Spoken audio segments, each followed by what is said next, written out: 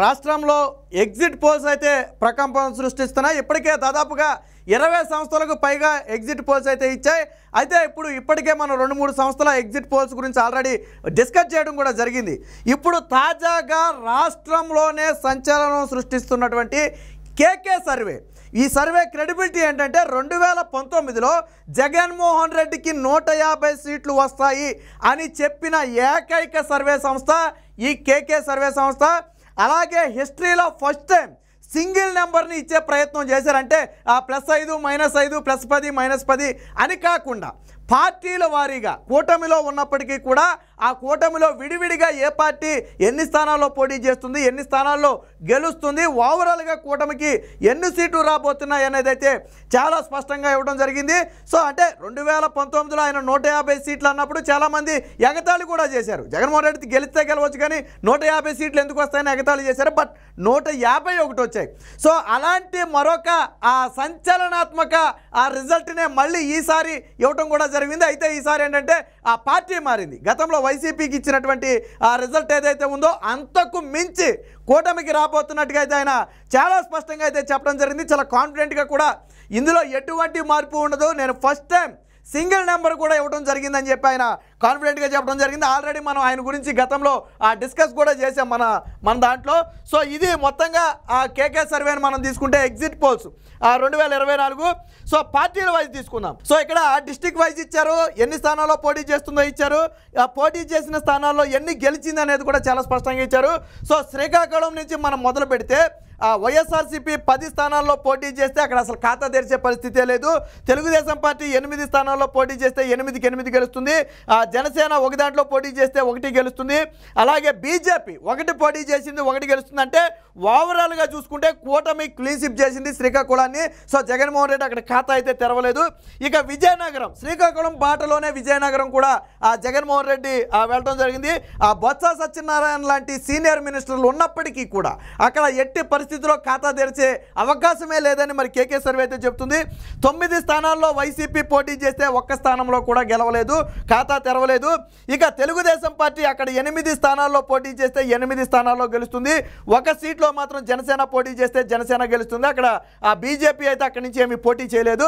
So ఇక next Visakhapatnam. ఉత్తరాంధ్రలోనే అత్యంత కీలకమైనటువంటి విశాఖపట్నాన్ని మనం తీసుకుంటే ఇక్కడ పదిహేను స్థానాలు ఉంటే అందులో ఒక్క సీటు మాత్రమే వైసీపీ గెలుస్తుంది. సో మొదటిగా మనం అటు నుంచి ప్రారంభిస్తే విశాఖలో మాత్రమే జగన్మోహన్ రెడ్డి తొలి సీటుతో ఖాతా అయితే తెరవడం జరుగుతుంది. ఇక టీడీపీ మొత్తంగా తొమ్మిది స్థానాల్లో పోటీ చేస్తే తొమ్మిదికి తొమ్మిది గెలుస్తుంది. ఆ జనసేన నాలుగు స్థానాల్లో పోటీ చేస్తే నాలుగు నాలుగు గెలుస్తుంది. బీజేపీ రెండు స్థానాల్లో పోటీ చేస్తే ఒక స్థానం గెలుస్తుంది. ఆ మిగిలిన ఒక స్థానమే ఇక్కడ వైసీపీ పార్టీ గెలవడం జరిగింది.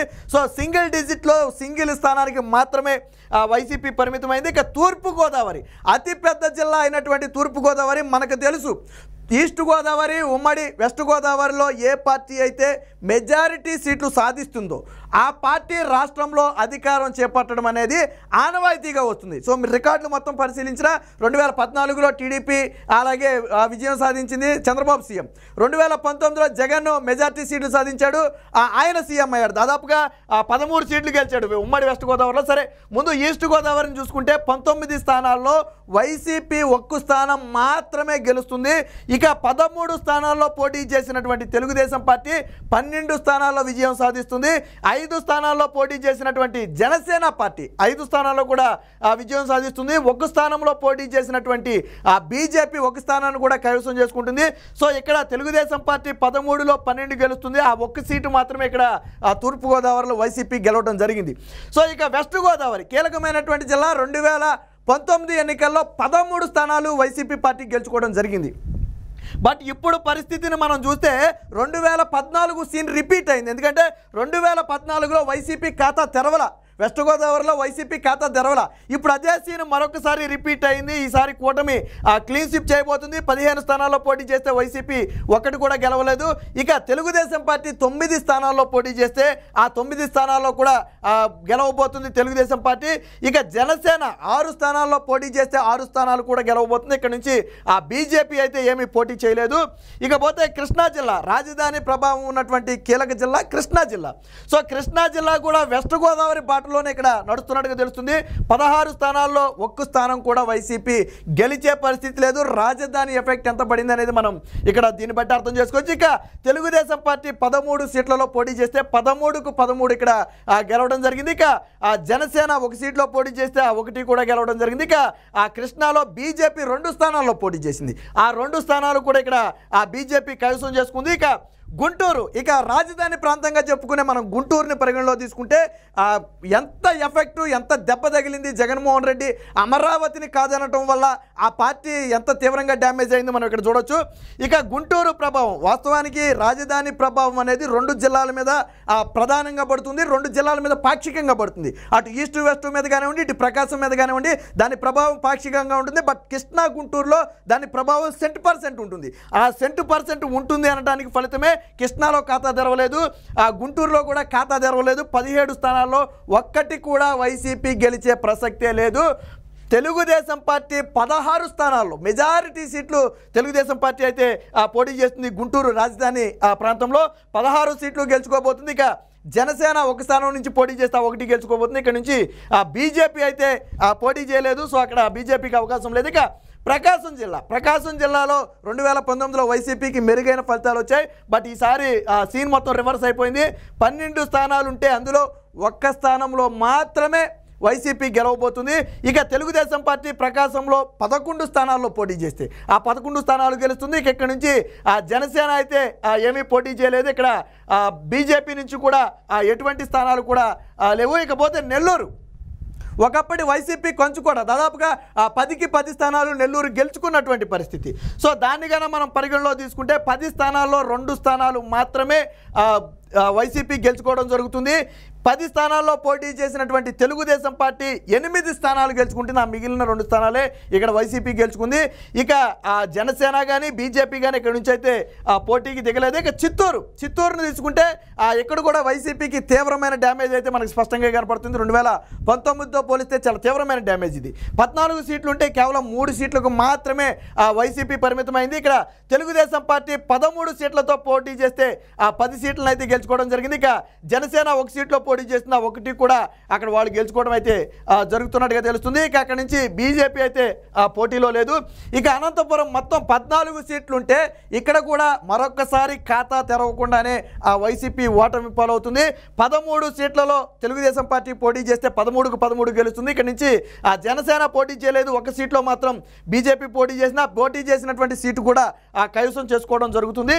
ఇక కడప జగన్మోహన్ రెడ్డి సొంత ఇలాకా గత ముప్పై ఏళ్ళ నుంచి వైఎస్ ఫ్యామిలీకి కంచుకోటలుగా ఉన్నటువంటి కడప ప్రాంతానికి వస్తే సో మొట్టమొదటిసారిగా కడపకు కూడా భారీ బీటలు వారాయి.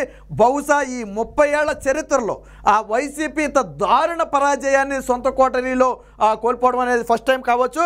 పది స్థానాల్లో వైసీపీ పోటీ చేస్తే కేవలం మూడు స్థానాల్లో మాత్రమే వైసీపీ గెలవబోతుంది.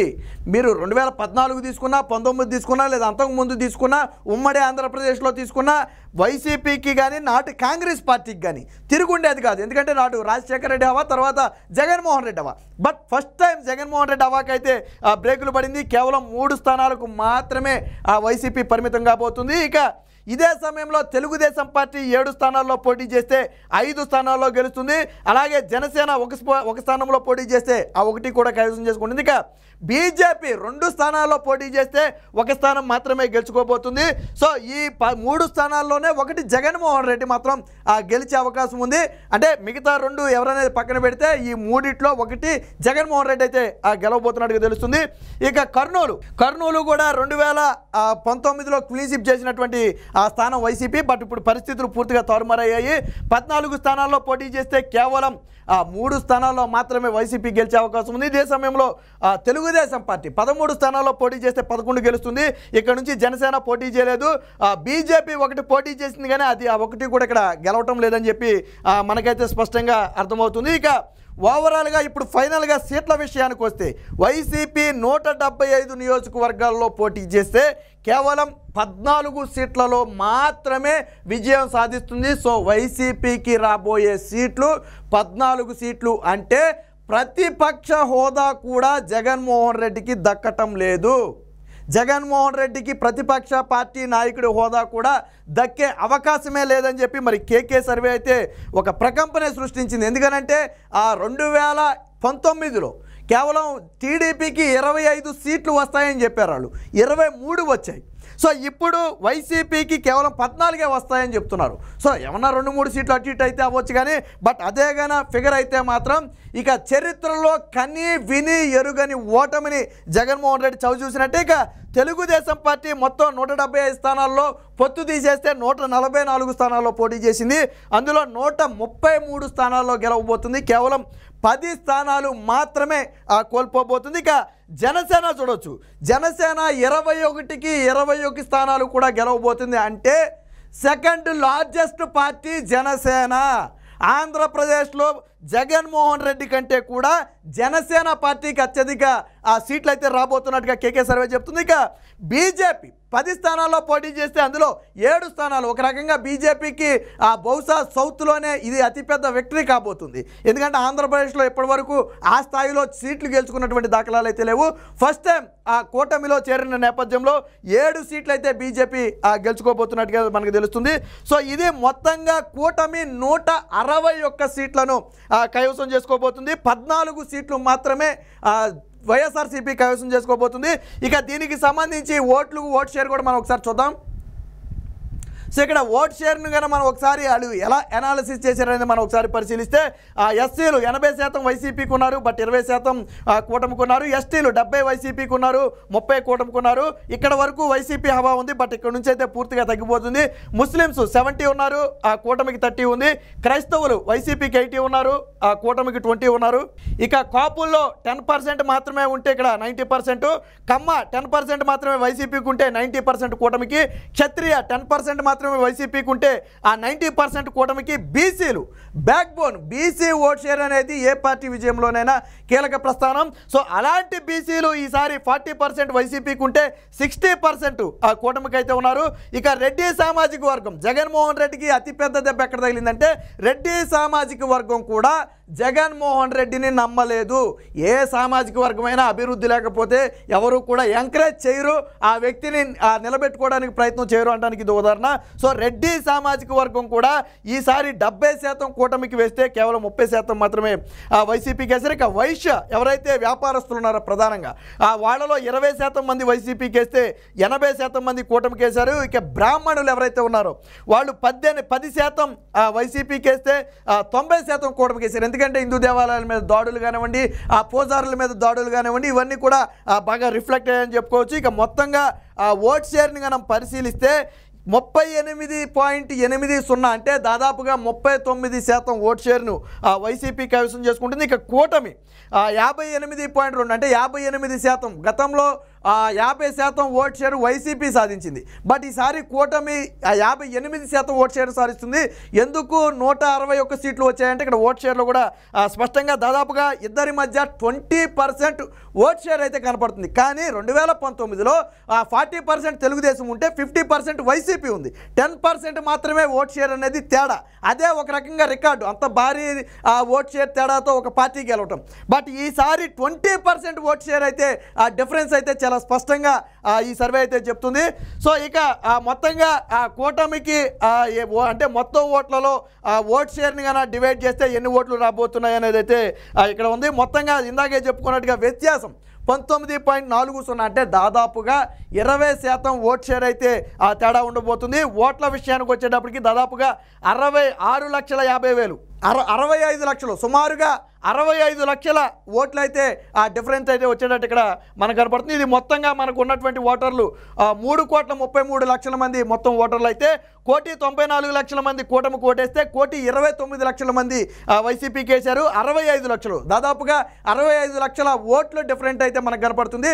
బట్ రెండు వేల పంతొమ్మిదిలో కేవలం ఇరవై నుంచి ఇరవై ఐదు లక్షల ఓట్లు మాత్రమే డిఫరెంట్ అనేది ఉండేది రెండు పార్టీలకి. ఆ టెన్ పర్సెంట్లో ఉన్నప్పుడు. బట్ ఇప్పుడు మాత్రం ఓట్లు ఓట్ డిఫరెంట్ అనేది చాలా ఎక్కువగా పెరిగింది. మొత్తంగా ఆ రాష్ట్రంలోనే పెను ప్రకంపనలు పుట్టిస్తున్నటువంటి ఈ కేకే సర్వే నూట అరవై ఒక్క సీట్లతో కూటమి అధికారంలోకి రాబోతుందని ఫస్ట్ టైం ఈ సర్వే హిస్టరీలోనే ఫస్ట్ టైం ఒక సింగిల్ నెంబర్ ఇచ్చే ప్రయత్నం చేసినటువంటి మొట్టమొదటి సర్వే సంస్థ ఈ కేకే సర్వే సంస్థ. సో ప్లస్ మైనస్ అనే వ్యత్యాసం లేకుండా క్లియర్ కట్ సీట్లను అయితే వాళ్ళు ప్రకటించడం జరిగింది. అది కూడా పార్టీ వైజ్. సో మొత్తానికి కూటమి ప్రపంచం ఏ స్థాయిలో ఉండబోతుంది అనేది ఆ కేకే సర్వేని బట్టి అయితే మనకు అర్థమవుతుంది. సో మరి రెండు వేల పంతొమ్మిదిలో సక్సెస్ అయినటువంటి కేకే సర్వే రెండు వేల ఇరవై నాలుగులో కూడా సక్సెస్ అవుతుందా లేదా ఫలితాలు ఏమైనా తారుమారు అవుతాయి అనేది మాత్రం ఆ, ఫర్ జూన్ నాలుగు వరకు వేచి చూడాలి.